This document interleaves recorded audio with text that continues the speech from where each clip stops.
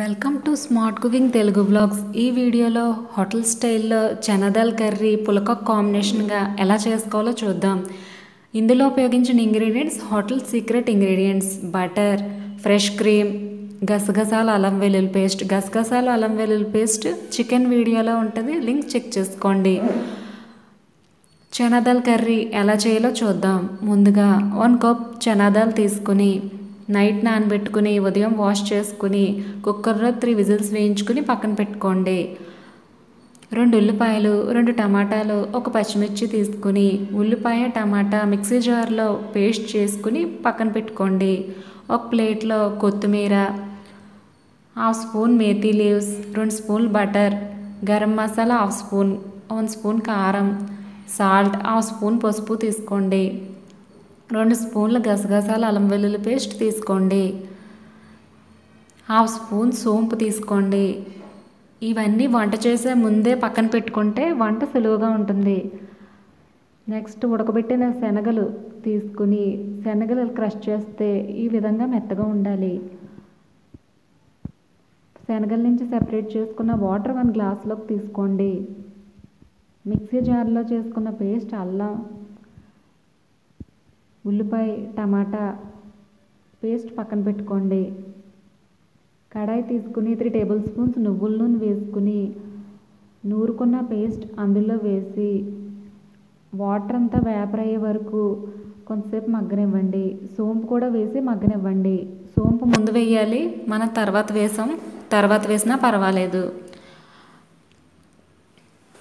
Gold colour వచ్చే వరకు medium flame మీద బాగా ఫ్రై చేసుకోండి.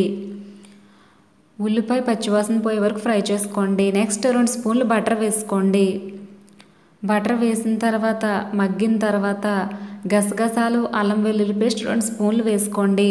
ఈ పేస్ట్ ఎలా చేయాలో చికెన్ కర్రీ వీడియోలో ఉంటుంది చూడండి. నెక్స్ట్ ఉడకబెట్టి పక్కకు తీసుకున్న శనగలు కూడా ఒక కప్పు అందులో యాడ్ చేసి కొంతసేపు మగ్గనివ్వండి.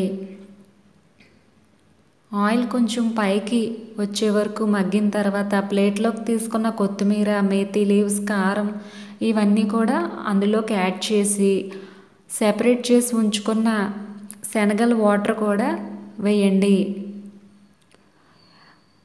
ఇప్పుడు అందులో ఉన్న సాల్ట్ చెక్ చేసుకుని కుక్కర్ మూత పెట్టి త్రీ విజిల్స్ వేయించండి. తర్వాత పక్కకు తీసుకుని స్టవ్ మీద పెట్టుకుని దగ్గరగా అయ్యే వరకు ఉడికించుకోండి. ఇందులో టూ స్పూన్స్ ఫ్రెష్ క్రీమ్ వేయండి. ఫ్రెష్ క్రీమ్ ఎలా చేయాలంటే పెరుగు మీద మేగడ మిక్సీ జార్లో వేసుకుంటే ఫ్రెష్ క్రీమ్ రెడీ అవుతుంది. దగ్గరకు ఉడికించుకుంటే టేస్టీ చెనదల కర్రీ హోటల్ స్టైల్లో మనకు రెడీ అవుతుంది. ట్రై చేసి చూడండి. ఇప్పుడు పుల్కా ఎలా చేయాలో చూద్దాం. ముందుగా ఒక బౌల్లోకి టూ కప్స్ గోధుమ పిండి తీసుకోండి. అదే కప్తో వన్ కప్ మైదా తీసుకోండి. సరిపడా సాల్ట్ వేసుకోండి. ఇందులోకి ఉపయోగించే వాటర్ వన్ గ్లాస్ తీసుకుని స్టవ్ మీద పెట్టి మరిగించండి. వేడి నీళ్ళు వేయడం వల్ల పుల్కాలు సాఫ్ట్గా ఉంటాయి. ముందు స్పూన్తో కలుపుకోండి. చల్లారిన తర్వాత చేతితో సాఫ్ట్ డవ్ అయ్యే వరకు కలుపుకోండి. తర్వాత పులక ఈ విధంగా చేస్తే లేయర్ అన్నది తిన్నగా ఉండాలి. తిక్కగా ఉంటే పులక బోగోదు లేరు తిన్నుగా వచ్చే విధంగా చేసుకోండి. ఆయిల్ కానీ గీ కానీ ఉపయోగించకూడదు. పుల్కాలు ప్యాన్ మీద వేస్తే పైకి పొంగుతాయి. వేడివేడిగా ఉండగానే సర్వ్ చేసుకుంటే టేస్టీ పుల్కా హోటల్ స్టైల్లో రెడీ అవుతుంది. దీనికి కాంబినేషన్గా చనాదాల్ కర్రీ చేసుకోండి. ఈ వీడియో మీకు నచ్చినట్లయితే లైక్ చేయండి షేర్ చేయండి సబ్స్క్రైబ్ చేయండి. Thanks for watching.